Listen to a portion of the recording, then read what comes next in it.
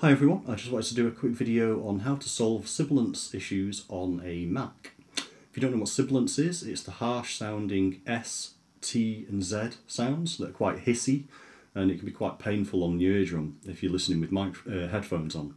So I'm in a really bad environment here. My voice to start with isn't very good, it's quite sibilant.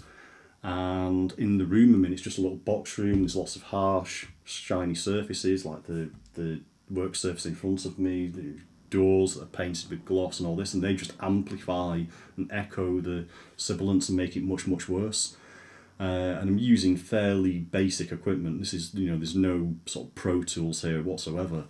Um, and there are a few things that you can do. Obviously, you can train your voice, you can get in a better room and start putting egg cartons all over the walls to sort of deal with some of the sound issues. You can tilt your microphone down by about 10 to 15 degrees, so it's pointing more at your throat rather than your mouth, and that helps a little bit. But if it's got really bad problems, you're going to need to use what's called a de-esser. So the de-esser I'm using, the one I found easiest to use and most reliable, is FabFilter Pro DS.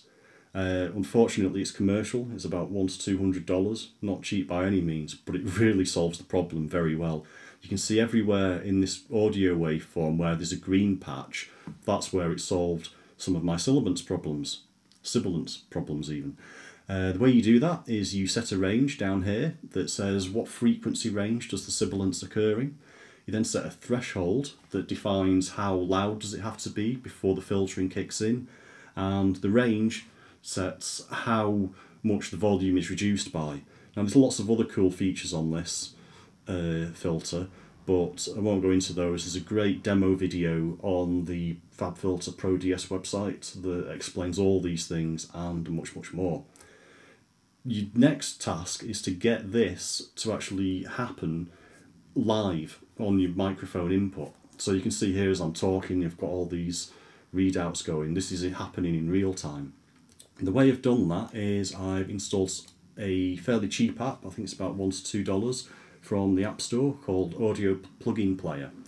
This lets me take the input, which is my actual microphone, the Rode Podcaster, it's a USB microphone, and run that through the de-esser, the filter, this thing over here on the left, and then put that into something called Soundflower.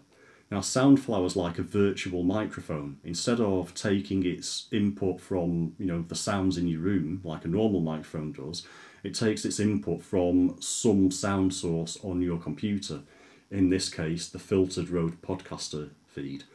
It then behaves to all of the other applications on the computer as if it's a microphone. So I've told my screen recording software to take its audio from Soundflower, which is the filtered audio from my actual real microphone, the Rode Podcaster.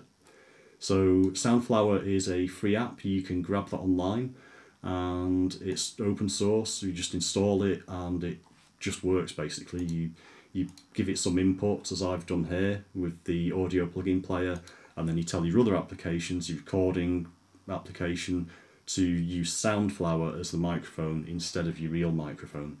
That's all for now. Thanks. Bye.